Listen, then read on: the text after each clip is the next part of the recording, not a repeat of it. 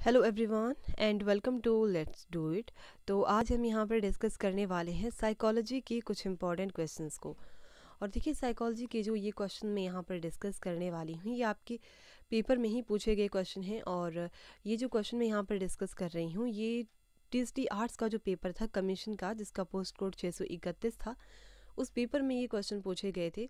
तो इसीलिए क्वेश्चंस आपके लिए काफ़ी ज़्यादा हेल्पफुल साबित हो जाएँगे। अगर आप टीजीटी के रिगार्डिंग किसी भी एग्ज़ाम की प्रेपरेशन कर रहे हो टी नॉन मेडिकल मेडिकल या आर्ट्स या कोई और भी एग्ज़ाम तो उस जिसमें कि साइकोलॉजी सेक्शन से रिलेटेड क्वेश्चन पूछे जाते हों तो उसमें ये क्वेश्चन आपके लिए काफ़ी ज़्यादा हेल्पफुल साबित हो जाएँगे। इससे आपको आइडिया लग जाएगा कि जो कमीशन रहता है, उसमें किस तरह के जो हैं साइकोलॉजी से रिलेटेड क्वेश्चंस पूछे जाते हैं। तो चलिए स्टार्ट करते हैं क्वेश्चन नंबर ट्वेंटी सिक्स के साथ।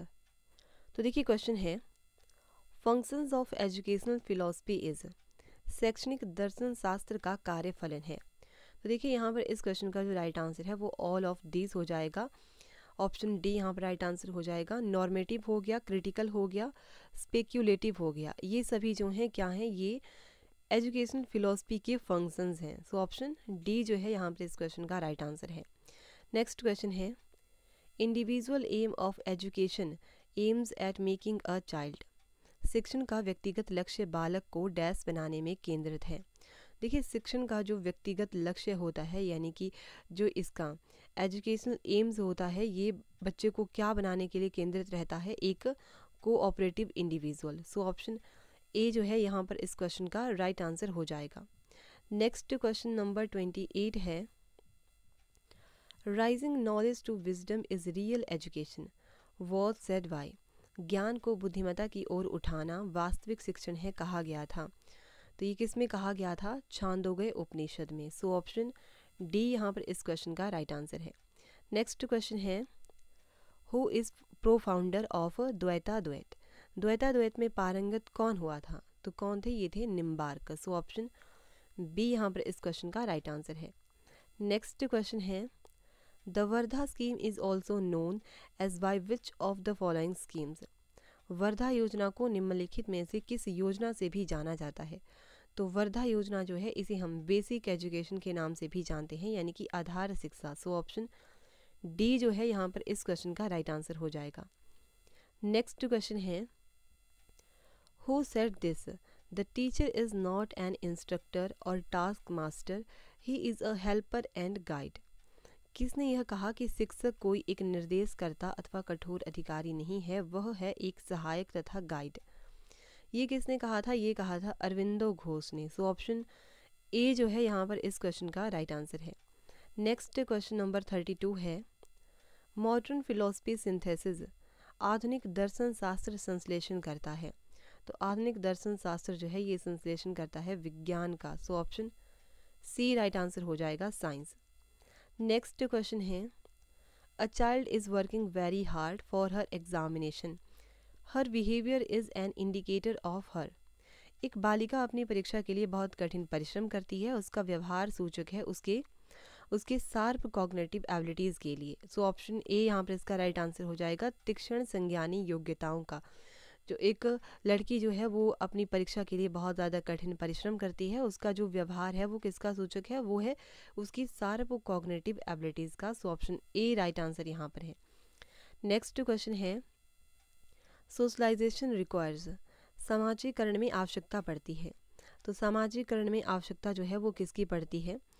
तो यहाँ पर इस क्वेश्चन का राइट आंसर हो जाएगा ऑप्शन डी जो है, इस क्वेश्चन का राइट आंसर हो जाएगा ऑल ऑफ़ डीज देखिए सोशलाइजेशन में जो है टीचर्स की भी आवश्यकता पड़ती है रिवॉर्ड्स की भी एंड री so option D right answer हो जाएगा all of these next question number thirty five है participating in the removal of literacy is a निरक्षरता को दूर करने में सह, में सहभागिता है एक. तो सहभागिता क्या है? एक सोशल चेंज है. सो ऑप्शन ए जो है, यहाँ पर इस क्वेश्चन का राइट आंसर हो जाएगा सामाजिक बदलाव. नेक्स्ट क्वेश्चन है national policy on education was started in राष्ट्र शिक्षण पर राष्ट्र नीति आरंभ की गई थी। तो नेशनल पॉलिसी ऑन एजुकेशन जो है, ये स्टार्ट की गई थी 1986 में। सो ऑप्शन बी यहाँ पर इस क्वेश्चन का राइट आंसर है।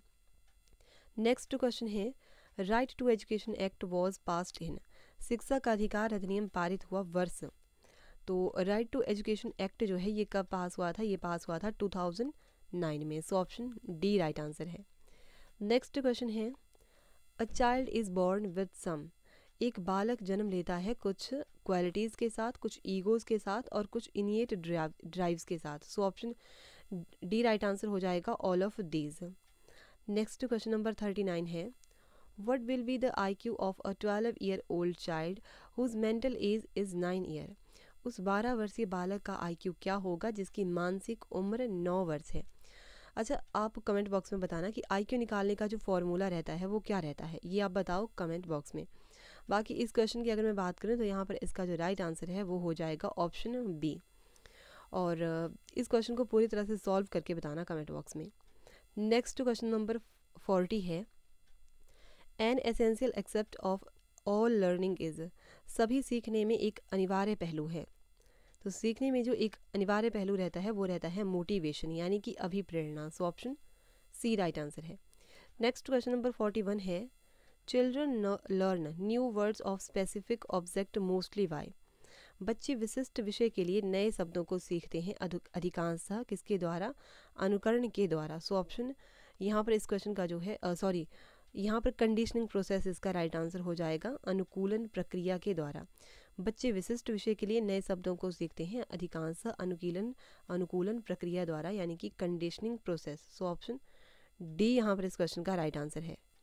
नेक्स्ट क्वेश्चन है लर्निंग डिसेबल्ड चिल्ड्रन आर सीखने में अक्षम बच्चे होते हैं।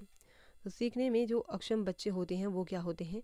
देखिए ऑप्शंस के हिसाब से यहाँ पर इसका राइट आंसर जो है, वो हो जाएगा option D none of these जो लर्निंग डिसेबल्ड चिल्ड्रन होते हैं, ज़रूरी नहीं है कि वो लो इन इंटेलिजेंसी हो या स्लो इन एक्टिविटी हो या फिर डेफिशिएंटी इन यूजिंग पोटेंशियल हो।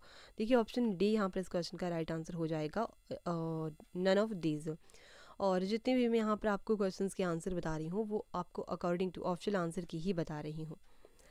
तो अगर आपको किसी भी क्वेश्चन को डाउट किसी भी क्वेश्चन को लेकर के आंसर को लेकर के डाउट रहता है, तब आप कमेंट बॉक्स में बता सकते हो। क्वेश्चन नंबर फोर्टी थ्री है the gland which play a key role in the development of personality is व्यक्तित्व के विकास में मुख्य भूमिका निभाने वाली ग्रंथि है। तो ये कौन सी ग्लैंड है? ये है pituitary gland so option A यहाँ पर इस क्वेश्चन का राइट आंसर है। नेक्स्ट क्वेश्चन है a child attitude I don't care is a type of behaviour which can be called बालक का रवैया मैं परवाह नहीं करता। एक उस प्रकार का व्यवहार है जो कहा जाता है।